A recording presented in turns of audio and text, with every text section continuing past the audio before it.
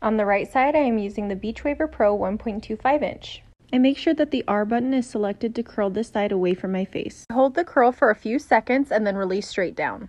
On the other side, I am still using the Beachwaver Pro just in a slightly smaller 1 inch size.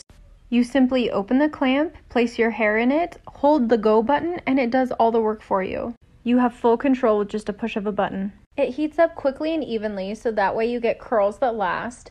I also love the advanced heat control settings so that I'm not worried about my clients damaging their hair. After my curls have cooled, I brush them out using Beachwaver's prep brush. And to finish off, I add Second Chance dry shampoo at my root for some added volume. As you can see, the size of your curling iron can completely change the type of curl that you get. On the left, the 1 inch size barrel gave me a much bouncier curl while on the right side, the 1.25 inch gave me a very soft beachy wave. I absolutely love both looks. Which one is your favorite?